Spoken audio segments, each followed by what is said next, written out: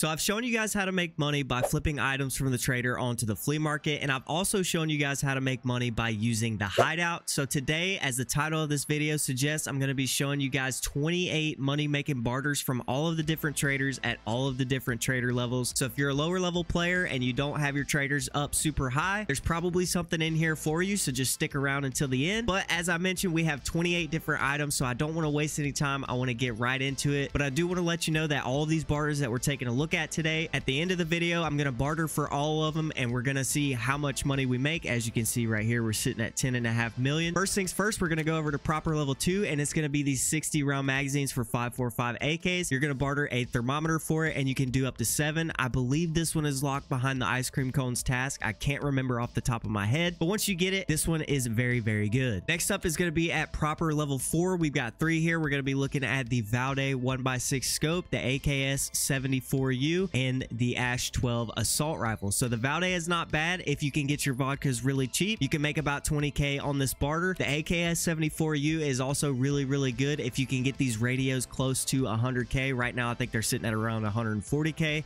which is still profitable. Basically, you're going to sell all the high value parts off of this onto the flea market and you will make a little bit of profit there. And then lastly is going to be the Ash 12, one MCB and one bundle of wires. This one is really, really good. I've been using this for multiple, multiple wipes in a row. Really love this barter. Next up is going to be Therapist at level two. We've got the pistol case. This one is really, really good. I believe you can make about 50k profit on this one alone. So every trader reset, you buy a pistol case and you make about 50k. You'll make even more profit if you're crafting these piles of meds, kind of like I told you guys to be doing in my hideout video, but this one is very, very good good. Moving on to therapist level three, you're going to be doing the items case barter for the O-scopes and piles of meds. Again, if you're crafting the piles of meds, this is even better. And O-scopes, I believe they're sitting around 100k right now. They're actually pretty high, so I wouldn't do this one right now. But the other day when I checked it, O-scopes were sitting around 99 to 100k, and that is super, super good. And then lastly, at therapist level four is going to be the money case. I already went over this one in a previous video on flea market flipping, but this one is really, really good. You can make upwards of 100k every trade reset on this one by itself. Next up is going to be Skier level 2, and that's going to be the RFB for two gas analyzers. This one's not too bad. Not a huge moneymaker, but you can make a good bit off of it. And then after that, over at Skier level 3 is going to be the TD skeleton grip. This one is going to decline very, very quickly. This is a gunsmith part, so make your money off of this while you can because it's not going to last forever. And then finally, at level 4, we've got the Voodoo scope. This one has been a favorite of mine. Even if you want to do it just to have the Voodoo scopes and use them, this one is super super, super cheap. Much cheaper than buying the Voodoos off of the flea market. Moving on from Skier, we're going to jump over to Peacekeeper, and he's got a couple of barters over here for us to take a look at. The first one is going to be Peacekeeper level 2, and it's going to be these M67 grenades. If you can get these Zibbos cheap enough, and if you can sell the M67s on the flea for high enough, you can actually make pretty good money off of this one. And then at Peacekeeper level 3, we've got the Uzi Pro for a Bakeezy cookbook.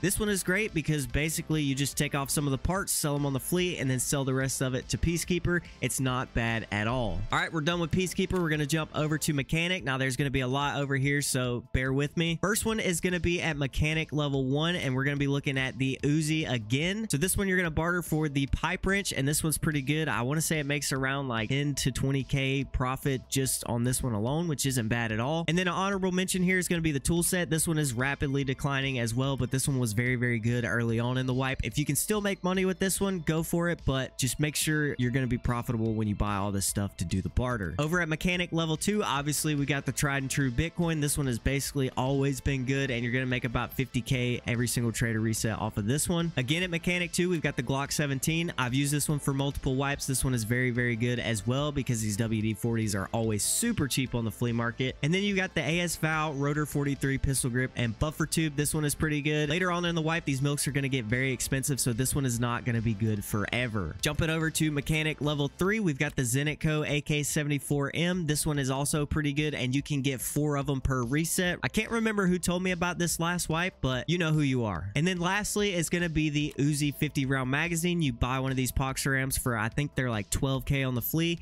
And if we go ahead and jump over here and take a look, these things are selling for around 25k. So you're basically doubling your money, and you can buy six of them per reset. Jumping over to Ragman, this one is going to get a little bit complicated, but bear with me. I'll explain everything. First one we're going to be taking a look at is at Ragman level 1, and that's going to be for the P.A.C.A. As you can see here, you need three half masks. Do not buy these half masks off the flea. If you do, this will not be profitable. What you're going to want to do is jump over to fence, go over to the gear, and a lot of times he's going to have those half masks and they go for 3,400 rubles a piece. So all in all, about 10k in for the half mask, and you can get yourself that P.A.C.A, which I believe sells for around 27k. Jumping over to Ragman level 2 is going to be the UN helmet. Same thing again with these glasses. Jump over to Fence, buy these off of him. Do not buy them on the flea. You will not make profit. You buy two of these, and at Fence, he's selling them for 2,836 rubles a piece, and then you just sell the helmet right back to Ragman for 17k. And then the last one we're going to take a look at Ragman level 2 is going to be this LBT 3-day pack. One Cordura, which I craft these a lot, and then you go ahead and throw this thing on the flea market. I believe it's going for around 40k, so that's not bad at all. The Cordura, if you craft it, is going to cost you 12k. All right, so moving on from Ragman, we're going to jump over to Jaeger level 1, and as you guys know, I've covered this one a lot. It's going to be the dog tag case. Basically, if you can spend less than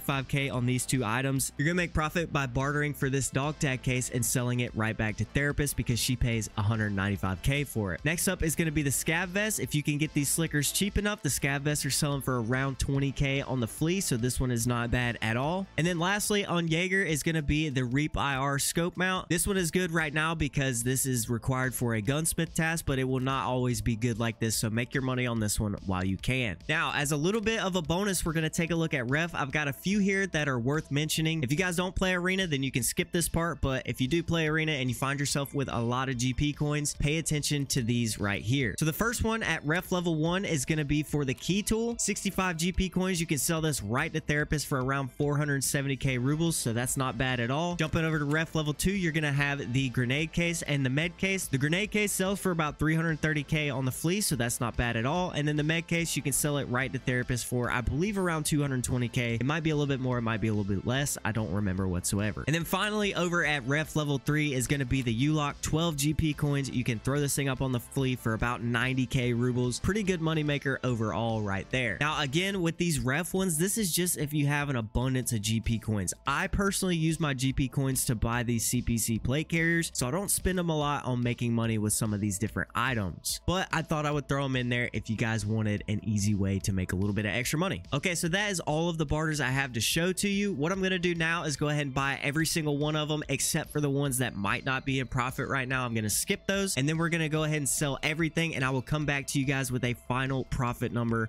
on all of those items. Okay, so everything is sold. I want to say I ended up doing about 22 or 23 of the barters. I definitely didn't do all of them. I didn't do like the scav Vest, the Valday, the AKS 74. There was a few that I didn't do, but in total, we made 1,898,119 rubles. So for about 5 to 10 minutes worth of my time, I was able to make almost 2 million rubles, and you can do this every single trader reset. And keep in mind, this is just barters. This is only barters. This is not including like things that you buy and flip on the flea market. It's also not including your raids or your scav runs or anything. This is just one way that you can make money, and we were able to make about 2 mil in less than 10 minutes. I don't really know of a better way to make money than that. So I would highly recommend you guys add this into like your little trader routine. It will make you a ton of money. Anyways, that's going to do it for this video. I hope you guys enjoyed it. I hope you guys learned something. If you guys have any more barters that you personally use to make a ton of money, please be sure to leave it down in the comments below. I'm sure other people would greatly appreciate that. But anyways, that's going to do it for this video and I'll see you guys in the next one.